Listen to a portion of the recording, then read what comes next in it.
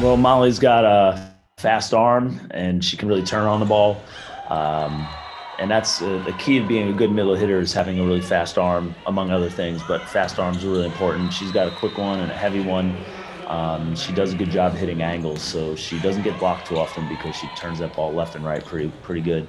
You know, I think our block uh, for good portions of the match were uh, setting up really well, and um, when the block sets up well, it makes it a lot easier for a defender to get uh, in position to make a dig. So I thought our block was doing a good job of setting up, and um, when Rachel can be stopped and have a good view of the hitter, she's a really good digger.